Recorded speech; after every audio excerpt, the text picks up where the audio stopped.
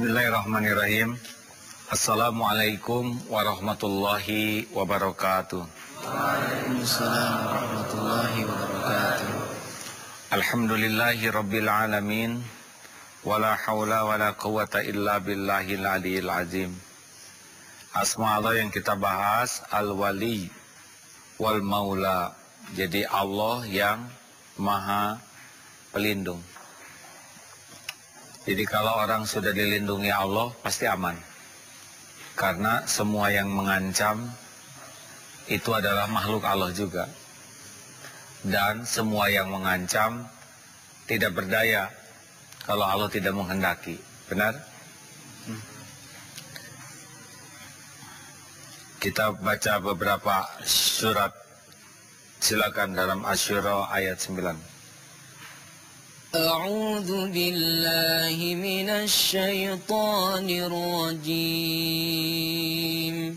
بسم الله الرحمن الرحيم. أم اتخذوا من دونه أولياء؟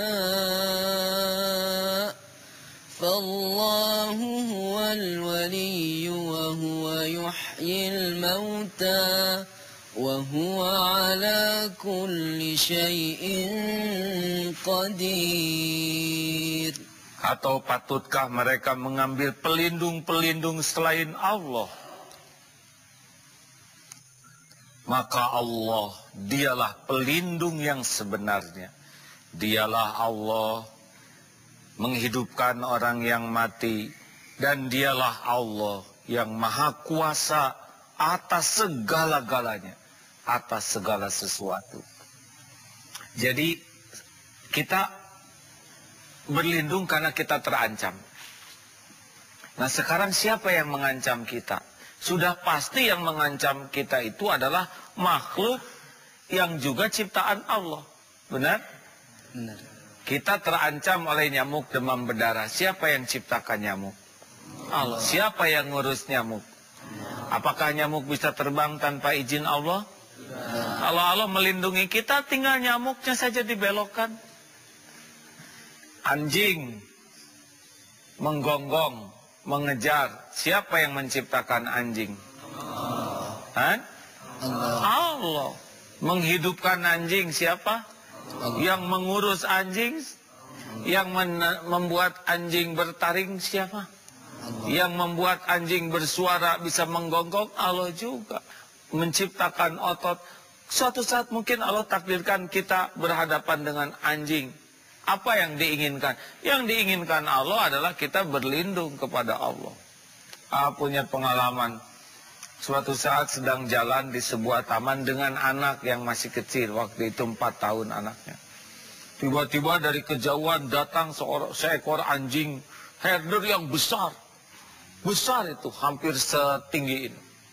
Wah, langsung yang dipikir adalah menyelamatkan anak. Nyari kayu, tidak ada. Nyari batu, tidak ketemu. Sambil berpikir begitu, agak terlambat memang. Ingat ceramah sendiri. Bahwa pelindung adalah Allah. Hasbunallah wa ni'mal wakil. Ni'mal maula wa ni'man nasir. Nah, mata lihat anjing, hati langsung yakin. Ini pertemuan takdir Allah. Tidak setiap hari ketemu begini. Itu anjing ciptaan Allah. Anjing yang Allah ciptakan, apa kerjanya? Bertasbih kepada Allah. Tapi tetap tegang, ya. Karena anjing makin dekat. A'udzu bikalimatillahi tammati min syarri ma.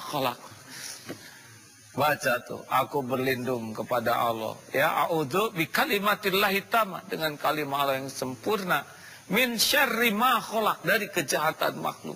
Baca Al-Falaq. A'udzu billahi minasyaitonir rajim. Qul a'udzu birabbil falaq min syarri ma khalaq. Itu juga sah. Kalau melihat tidak kita tegang. Ya. Kalau tahu kita lagi cari-cari batu dan eh, kayu. Masya Allah anjing makin dekat, anak disembunyikan ke belakang, zikir makin kuat. Apa yang terjadi hadirin? Tiba-tiba ada yang memanggil anjing itu, pemiliknya datang. Alhamdulillah yang punyanya itu naik sepeda. Jadi rada cepet coba kalau yang punyanya naik kursi roda lebih tegang lagi. Akhirnya anjing berbalik mendatangi pemiliknya. Itulah episode. Allah takdirkan begitu supaya kita berlindung ke Allah. Karena semua pengancam ada dalam genggaman Allah. Naik mobil takut copet, apalagi wanita, takut ada yang ganggu di angkot, takut diculik, takut ada yang ganggu di taksi. Siapa pelindung? Allah. Ini di internet ada kisah tentang wanita Islam di Amerika pulang kerja melewati sebuah jalan belum terlalu larut malam tetapi di sana ada pemuda yang nakal diperkirakan nakal akhirnya membaca ayat kursi terus menerus Allahu la ilaha illa huwal hayyul qayyum sampai selesai. Terus membaca ayat kursi. Sambil jalan menuju rumahnya melewati pemuda itu. Dan tidak diganggu. Besok pagi nyetel TV. Ada berita, ada wanita yang dilecehkan. Dilecehkan di tempat yang sama itu. Akhirnya lihat di kantor polisi, laporan di kantor polisi, ada beberapa tersangka. Langsung dia pergi ke kantor polisi. Ini tempat semalam saya lewat. Saya tahu orangnya. Maka dilihat karena beberapa orang tersangka di sana. Yang mana? Yang ini. Wah. Sesudah ditanya oleh polisi, minta izin wanita ini kepada polisi untuk nanya. Ini di internet ada kisah tentang wanita Islam di Amerika pulang kerja melewati sebuah jalan belum terlalu larut malam tetapi di sana ada pemuda yang nakal diperkirakan nakal akhirnya membaca ayat kursi terus menerus Allahu la ilaha illa huwal hayyul qayyum sampai selesai terus membaca ayat kursi. Sambil jalan menuju rumahnya melewati pemuda itu. Dan tidak diganggu. Besok pagi nyetel TV. Ada berita, ada wanita yang dilecehkan. Dilecehkan di tempat yang sama itu. Akhirnya lihat di kantor polisi, laporan dari kantor polisi ada beberapa tersangka. Langsung dia pergi ke kantor polisi. Ini tempat semalam saya lewat. Saya tahu orangnya. Maka dilihat karena beberapa orang tersangka di sana. Yang mana? Yang ini. Wah. Sesudah ditanya oleh polisi, minta izin wanita ini kepada polisi untuk nanya. Semalam saya lewat. Engkau melihat tapi engkau tidak mengganggu saya. Kenapa? Apa kata orang jahat itu? Bagaimana saya mengganggu kamu? Kamu dikawal oleh orang yang begitu gagah dan besar. Mudah bagi Allah ya. Kita tidak mengerti siapa. Mungkin dibuat dalam pandangannya atau malaikat atau apalah. Tapi Allah melindungi dengan beragam cara. Mungkin hati orang dibalikan jadi takut. Mungkin diperlihatkan sesuatu ya Pokoknya kalau kita berlindung ke Allah, maka dia adalah sebaik-baik pelindung. Nikmal maula wa nikman nasir. Silakan Ustaz. Bismillahirrahmanirrahim. وهو الذي ينزل الغيث من بعد ما قنطوا وهو الذي ينزل الغيث من بعد ما قنطوا وينشر رحمته وهو الولي الحميد Dan dialah Allah yang menurunkan hujan sesudah mereka berputus asa dan dialah menyebarkan dan menyebarkan rahmatnya dan dialah Allah yang maha pelindung lagi maha terpuji wahwal waliyul hamid. Jadi ada kalanya Allah menguji kita dengan kekeringan. Allah tahu Allah tahu karena terjadinya musim kemarau juga dengan izin Allah. Allah tahu yang kehausan tidak ada satupun yang tidak diketahui. Lalu kenapa Allah menciptakan kemarau sehingga air susah didapat. Nih sekarang di sini kemarau. Wah, rumput kurang banyak. Kuda harus makan rumput. Nyari rumput ke mana-mana. Pikir-pikir enak kuda. Dia tidak nyari rumput, jadi kita yang nyari rumput ya. Begitulah kebesaran Allah. Kuda mah tinggal senyum-senyumnya di kandang. Kita yang hari, termasuk Ustadz ya. Karena beliau juga punya kuda, nah sekarang resikonya harus ngarit.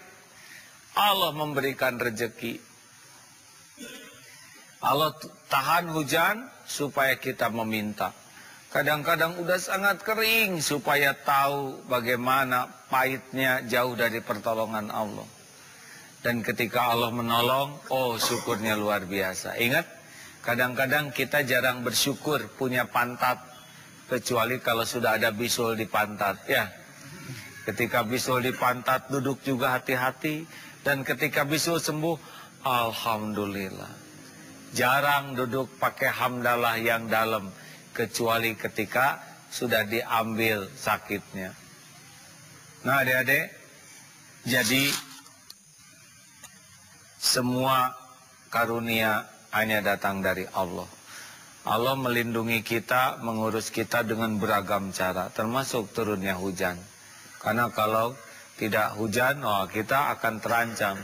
Tubuh kita ini 70% air. Kalau air tidak masuk ke tubuh kita, korsleting semuanya. Karena otak juga cairan. Darah itu cairan. Kalau semua kental, dia tidak bisa menyalurkan sampai ke saraf-saraf di ujung ini. Benar? Ini bisa mati semua. Dan kalau otak kita cairannya kurang, nah jadi lucu nanti, ya. Apa? Nah bisa begitu terus hadirin. Jadi rada banyak pelatnya. Kalau darah sangat kental, dia tidak bisa masuk ke uh, apa yang rambut itu, pembuluh rambut di sini. Ini bisa pada mati nanti. Allah lindungi. Nih matahari ada sinar apa yang berbahaya? Ultraviolet. Oleh Allah diatur ada lapisan-lapisan langit yang membuat sinar dari matahari tidak mematangkan kita. Coba kalau Allah tidak bikin pelindung keluar sedikit, udah tinggal pakai kecap. Ini kan tidak bagus. Gaya gravitasi oleh Allah diatur cukup 9,8 Coba kalau gravitasinya sekitar 30 ya loncatnya jebet begitu bisa geger otak. Dan mengheden bola itu geger otak langsung. Benar? Atau misalkan kenapa gaya gravitasi 9,8 enggak misalkan 2,3 kasihan bayi teng teng teng bisa hilang bayinya dan kok itu akan hambur ya kan? Teng sampai di Afrika. Semuanya perlindungan Allah. Betul? Betul. Coba kalau makan kalau Allah nggak tolong repot. Kita makan telur ayam Allah udah siapkan multi gizi di telur ayam. Allah buat ayam hamil bertelur dan rela telurnya diambil. Nyampe ke piring kita, disiapkan katelnya, minyak gorengnya, garamnya, bawangnya. Itu perlindungan dari Allah. Coba kalau Allah tidak mudahkan, misalkan ibu ayam tidak rela, telurnya diambil. Atau kita harus cari telur sendiri, meng-USG setiap ibu hamil ayam, hayam, ibu hayam hamil hayam ibunya hamil. Pokoknya begitulah hadirnya. Yang hamil siapa ini? Kita cari repot. tapi Allah siapkan. Beras siapa yang nanam, garam siapa yang mengeringkan dari laut, cabai siapa yang nanam, kambing siapa yang membesarkan, ayam, telur, ikan. Langsung oleh Allah diatur. Ngumpul di piring kita setiap hari.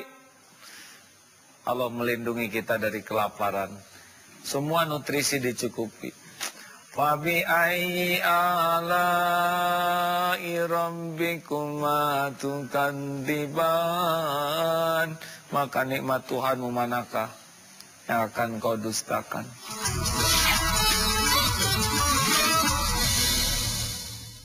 Semuanya perlindungan Allah Betul? Betul. Coba kalau makan kalau Allah nggak tolong repot kita makan telur ayam, Allah udah siapkan multi gizi di telur ayam. Allah buat ayam hamil, bertelur, dan rela telurnya diambil. Nyampe ke piring kita, disiapkan katelnya, minyak gorengnya, garamnya, bawangnya. Itu perlindungan dari Allah. Coba kalau Allah tidak mudahkan, misalkan ibu ayam tidak rela, telurnya diambil atau kita harus cari telur sendiri meng-USG setiap ibu hamil ayam hayam. Ibu hayam hamil hayam ibunya hamil pokoknya begitulah hadirin ya yang hamil siapa ini? Kita cari repot tapi Allah siapkan. Beras siapa yang nanam garam siapa yang mengeringkan dari laut cabai siapa yang nanam kambing siapa yang membesarkan ayam telur ikan? Langsung oleh Allah diatur. Ngumpul di piring kita setiap hari. Allah melindungi kita dari kelaparan. Semua nutrisi dicukupi. Fabi ayyi ala'i rabbikuma tukandiban Maka nikmat Tuhanmu manakah yang akan kau dustakan Ada lagi Ustaz? Surat Al-Hajj ayat 78. Iya. Bismillahirrahmanirrahim. واعتصموا بالله هو مولاكم فنعم المولى ونعم النصير Dan berpegang teguhlah kamu pada tali Allah, Dialah pelindungmu, maka dialah sebaik-baik pelindung dan penolong. Nah sekarang kita udah tahu Allah satu-satunya pelindung kita. Masalahnya dalam hidup kita ini, kita layak tidak dilindungi dan ditolong Allah. Itu saja. Kalau Allah nolong kita, tidak ada lagi yang bisa menghalangi, per, yang bisa mencelakakan kita. Betul? Kalau Allah melindungi kita ya sudah, pasti aman. Tapi kalau Allah tidak melindungi ya pasti kejadian. Kok itu sahabat Nabi ada yang terbunuh padahal dia berlindung ke Allah. Ya terbunuh kan bukan sesuatu musibah. Kalau imannya kuat bisa jadi suhada, benar? Jadi jangan menganggap, wah kalau ditolong Allah semuanya lancar, semuanya mulus. Oh enggak. Mungkin banyak ujian, tapi kita ditolong oleh Allah bisa paham. Makanya orang yang disukai Allah itu ada cirinya. Satu, dia akan dimudahkan untuk berbuat taat walaupun dia malas. Yang kedua, akan dipersulit oleh Allah berbuat maksiat walaupun dia pengen. Padahal dia rada lumayan penampilan, tapi tiap naksir ditolak semuanya. Itu karunia Allah tuh. Karena kalau pacaran, boros waktu, boros pulsa, boros pikiran, dan boros dosa. Ditolak-tolak aja. Jadi jomblo itu besar kemungkinan perlindungan Allah. Ada juga yang dia maling ayam, ayamnya nggak ketangkep, dia yang ketangkep. Ini boleh jadi perlindungan Allah. Mau nonton sepak bola ketiduran, itu pun perlindungan Allah. Udah selesai baru bangun, jadi tahajud. Ada nge-SMS buat seseorang salah pijet, jadinya ke kepala sekolah. Ini perlindungan Allah jadi diskor, digundulin lagi.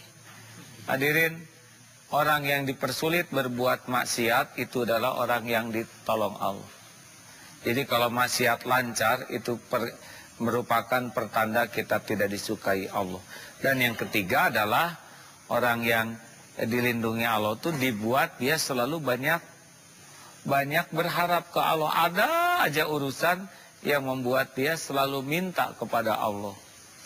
Menghibah, memelas, inilah sebetulnya karunia.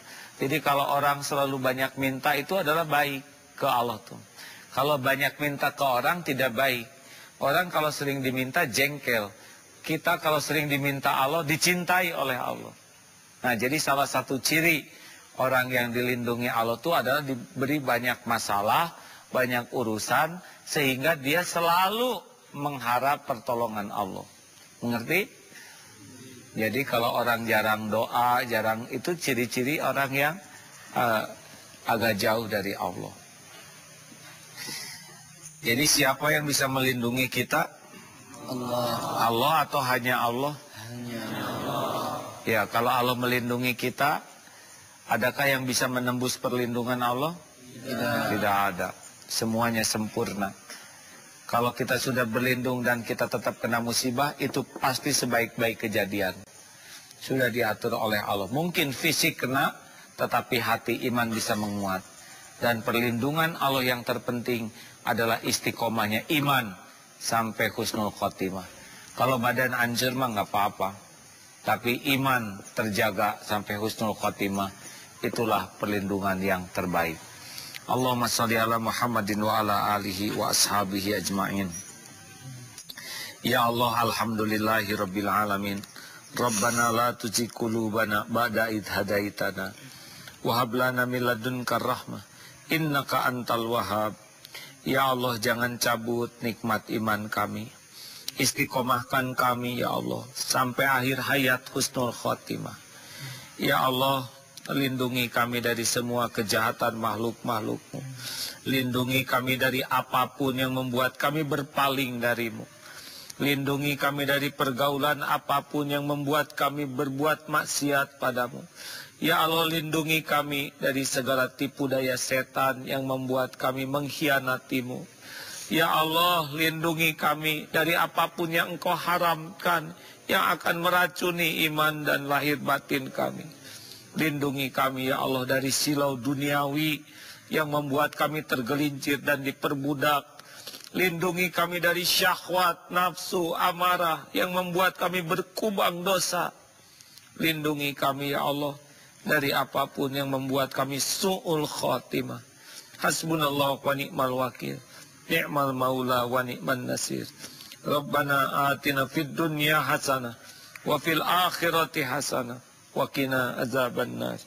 Amin ya Allah ya rabbal. Berlindunglah kepada Allah dari su'ul khotimah. Karena kalau kita su'ul khotimah, kehidupan dunia berakhir, tapi petaka berawal dikubur di yaumul hisab dan di akhirat nanti Allahumma inna na'udzubika min su'il khotimah sekian. Assalamualaikum warahmatullahi wabarakatuh. Waalaikumsalam warahmatullahi wabarakatuh